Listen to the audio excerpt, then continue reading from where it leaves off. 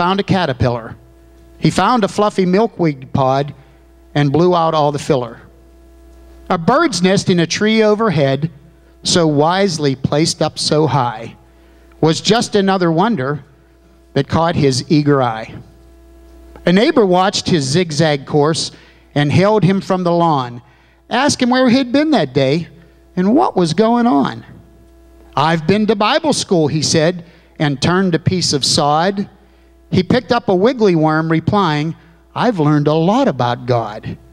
Hmm, very fine way, the neighbor said, for a boy to spend his time. If you tell me where God is, I'll give you a brand new dime. Quick as a flash, the answer came, nor were his accents faint. I'll give you a dollar, mister, if you can tell me where God ain't. So today we're going to be talking about the names of God in the Old Testament primarily. If you noticed, uh, most or all of our songs this morning were using words like Jehovah and Adonai, and there's a, there's a bunch of them in the Old Testament. I narrowed it down. I won't tell you how many because you might get restless, but I think it's, it's real important that we know the, the, the names that were used for God back in the Old Testament. Uh, a name was not only an identification, like, you know, my name is Joe, your name is Nancy, your name is, you know, whatever, but it was also an identity. Back then, the names were very meaningful, where now it just seems like we, we try to make them meaningful. I know when before we named Josh and before I named Jill and how they ended up with those names, Josh was supposed to be Timothy, but when he was born, he didn't look like a Timothy. I'm sorry.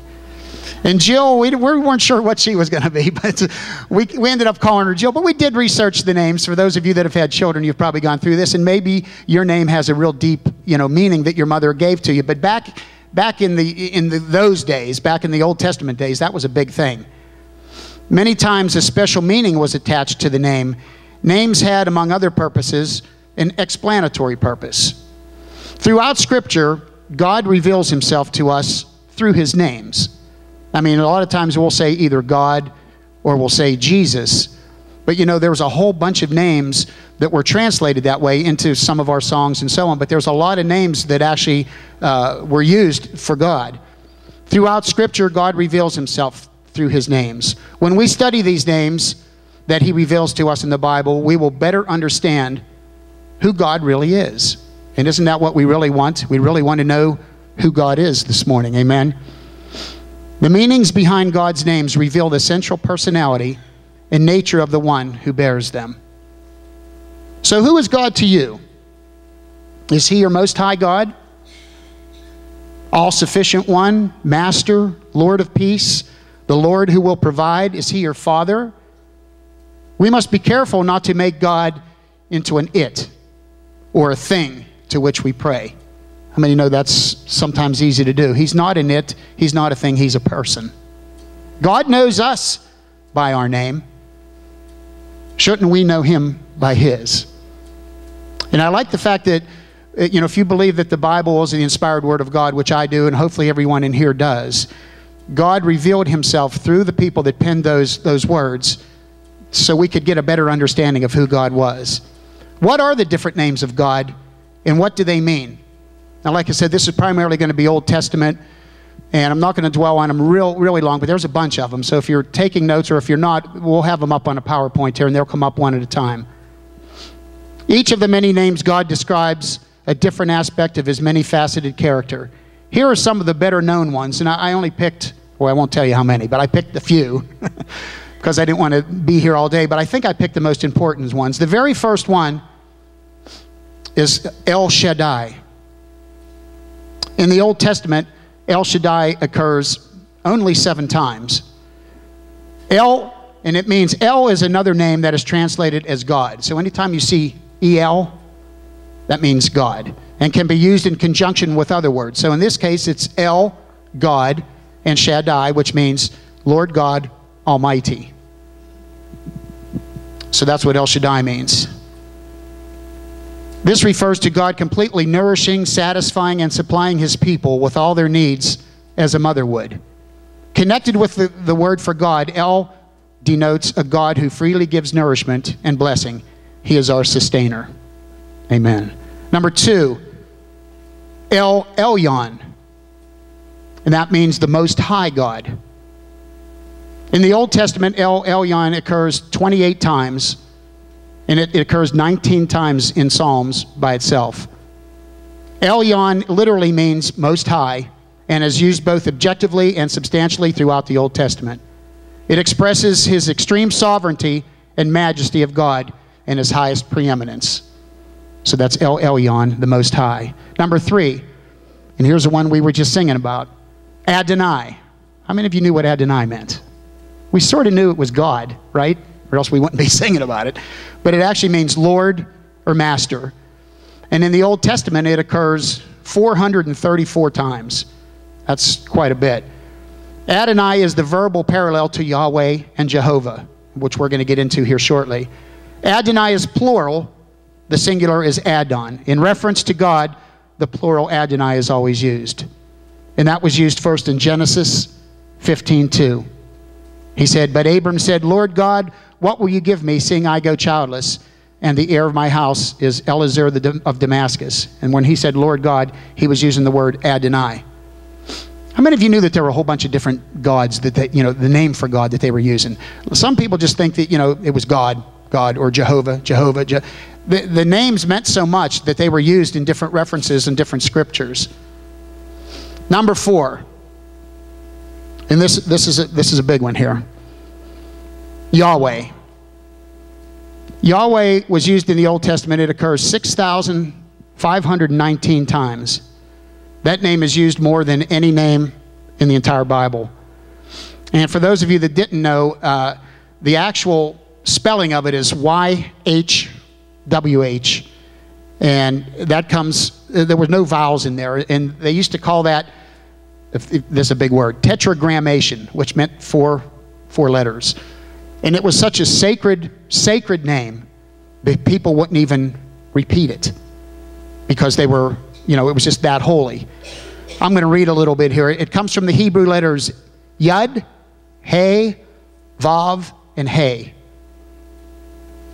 Yahweh was first used in Genesis 2. The modern spelling as Yahweh includes vowels so that we can pronounce it. It's sort of like, I know when I worked for Ericsson years ago, they were a Swedish company. And for those of you that have ever been around any Swedish people, their names have no vowels, a lot of them. So you're trying to pronounce their name, you know, G R D W S K. Yeah, it was it was weird.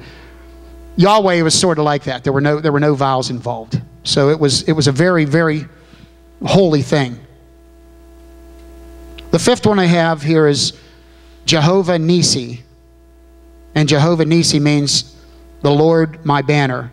In the Old Testament, Jehovah Nisi occurs only once, and that's in Exodus 17 15. The Lord my banner. And by the way, the, the word Jehovah means the existing one or Lord. I thought that was pretty interesting. Jehovah is translated as the existing one or Lord. The chief meaning of Jehovah is derived from the Hebrew word hava, meaning to be or to exist. It also suggests to become, or specifically to become known. This denotes God who reveals himself unceasingly.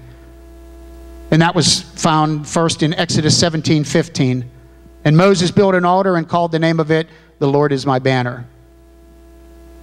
So, so far we have five. Number six, Jehovah Ra.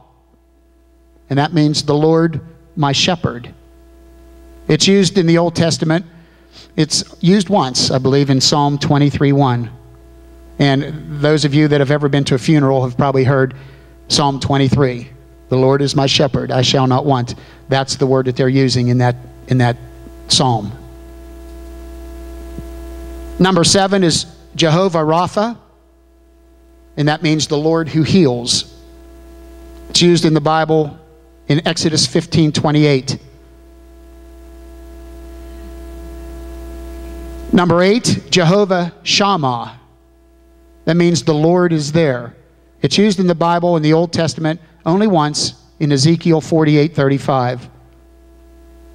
Shammah is derived from a Hebrew word sham, which can be translated as there. In other words, the Lord is there. So we could say Jehovah Shammah for here, because the Lord is here. Amen. Number nine, Jehovah, this is a tough one, Sidkenu. Jehovah Sidkenu. It only occurs twice, and it means the Lord our righteousness. It's first used in Jeremiah 23 6. It means to be stiff or to be straight or righteous in Hebrew. When the two words are combined, Jehovah Tzidkenu, it can be translated, the Lord who is our righteousness. I think this is really interesting, the, the way all these different words, you know, when they call me, I'm, well, I take that back. I was going to say most people just call me Joe. You know, remember that thing used to be, you can call me Ray, or you can, you know. But, you know, people call me a, a lot of different names, probably names I don't want to know, but I think this is very interesting that, that the, the scholars back then actually had individual names for God to, to bring forth what they were trying to talk about. In other words, the healer, and so on and so forth. Number 10, Jehovah Mekwadosh, the Lord who sanctifies you. It's used in the Bible two times. It's first used in Exodus 31 13.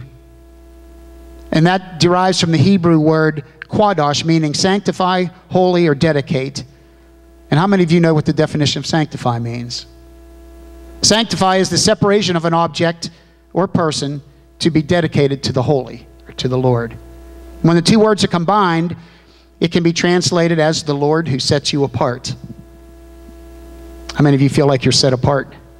How many of you think we should be feeling like we're set apart? We try to become, you know, part of this world, and the world has entered so much into the church. Uh, you know, I don't believe it was ever meant to be that way. I believe that we were supposed to be separate. We're supposed to be different. We're not supposed to be like the world. We should have more of an influence on the world than we're having right now. But that's a whole other issue we're not going to get into. There's only a few more, guys, so hang in there. Number 11, El Olam. And that means the everlasting God. Remember, El is another word for God. Can be used in conjunction with other words to designate various aspects of God. So El Olam can be translated as the eternal God. Now, here's one of my favorites Elohim. How many of you remember that? That's, that's way back in Genesis 1 1. That means God, judge, or creator. It occurs over 2,000 times in the Bible. Elohim. And how many of you knew that, that Elohim is plural? That means, you know, it's not just one, it's, it's more. So that's, that's one of the, the, the points that some cults will use. They'll say, well, there's more than one God. It's not just because they use the word Elohim, uh, but it, as Christians, we believe it is Father, Son, and Holy Spirit. It's translated as God. The derivation of the name Elohim is debatable to most scholars. Some believed it is derived from El, which we talked about earlier, which is the root word. Others think that Elohim is derived from another two words in conjunction with Eloah, and still others presume they come from Eloah, a different spelling, E L O A H. And we all know the, the, the verse, Genesis 1 1, in the beginning, Elohim created the heavens and the earth. God created the heavens and the earth. Number 13, Kana, and that means jealous. In the Old Testament, Kana occurs six times. Isn't that a strange one to be calling God jealous? How many of you ever remember the scriptures in there where it says the God, the God is a jealous God? Why do you think he's jealous? Probably because he doesn't want anybody else taking up our attention. So, this day and age, I believe God is pretty jealous. There's so much in this world that, that, uh, that is taking up our time that we should be spending on the Lord.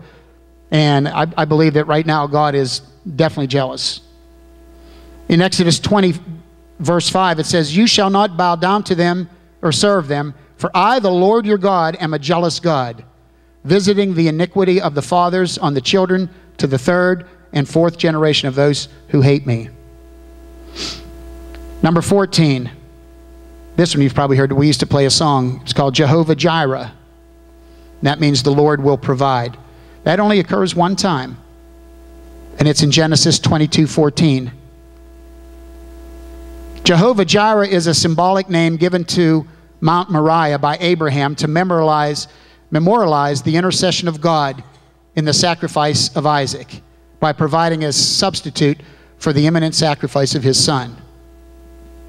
That's Genesis 22 14. Number 15, Jehovah Shalom. Everybody knows what that one is, I bet. That means the Lord is peace. It occurs only once, and it's in Judges 6 24. Shalom is a derivative of shalem, which means to be complete or sound. Shalom is translated as peace or absence from strife. Wow.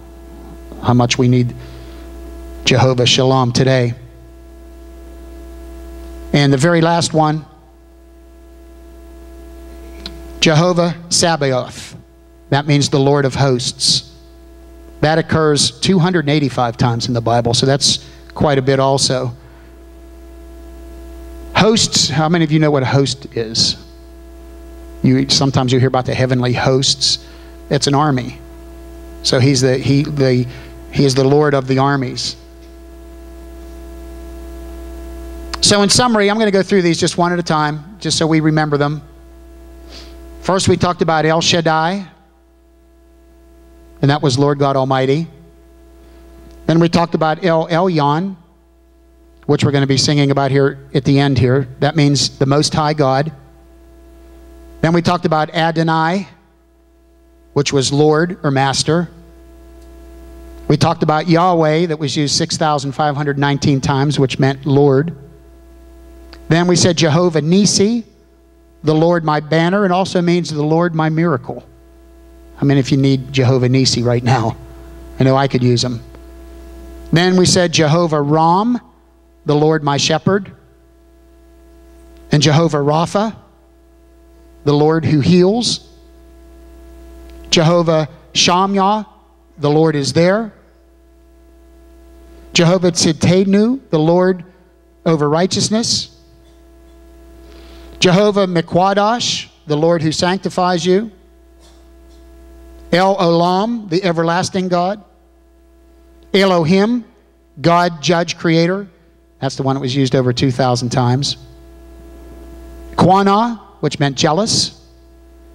Jehovah Jireh, the Lord will provide. Jehovah Shalom, the Lord is peace. And Jehovah Sabaoth, the Lord of hosts. So if we take all those and, and, and take out the Lord is, the Lord is. How about if it sounds like this? So if we're trying to describe somebody, if I was going to try to describe Tom, I better watch what I say here, huh, Tom? What, what would we say about Tom? We would say, well, Tom is intelligent, he's rambunctious, he's caring, he's humble. Those are words that I would use you know, to describe Tom. Uh, other people that I know, I would use you know, different terms. Uh, so if we were going to describe our God, I, I took the meanings of all those words. So we would say this. So God is almighty, most high. He's my Lord. He's my master. He's my miracle working God. God is my shepherd who heals me and is always there. God is my righteousness who sanctifies and makes me holy. God is everlasting, my God, my judge, and my creator. God is jealous my God provides and gives me peace. He's the Lord of hosts. He's my Redeemer, my Deliverer, my Conqueror. Wow, what a way to describe somebody, huh? How would you like somebody to describe you like that? In other words, I got to thinking about this. In other words, God is my hero. Amen? I would like to just be like him. And what is a hero? A person and remember, God is a person. He's not an it, He's not a thing, He's not something up there floating around. A hero is a person who is admired or idealized for courage, outstanding achievements, or noble qualities.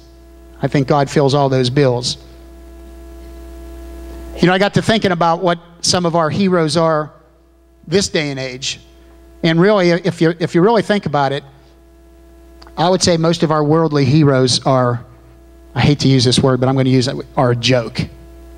I mean, we, we talk about some of our heroes as football players, baseball players, hockey players, NASCAR drivers, etc., etc., etc. Do you really, really believe that they are heroes when you compare them to God? I don't. The other thing that, that I, th- this is just off the record, I guess. The, the other thing that I, I sometimes get um, disturbed about is when, when people use the word, like I'll be talking to somebody and, and I'll say, you know, give me a hot dog and, and a Coke. oh, that's awesome, they'll say. And I'll say, what? I don't like to use the word awesome except if I'm referring to God. That's just me, a little pet peeve of mine. I believe there's only one thing in this entire universe that's awesome, and that's God Almighty. I think awesome has been used way too much. I think Satan, this is my personal opinion, you don't have to receive this if you don't want to. Satan has dimmed our vision and blocked our ears from what God really is and who God really is and from what God can really do. We put our focus on so many things. You know, our I don't want to go there with the cell phone, Lord, but how many of you, well, I don't even have to ask. I'd say 99% of the people in here have the cell phone, have a cell phone and or texting or whatever. And just so much of our time, so much of our time is distracted by those things.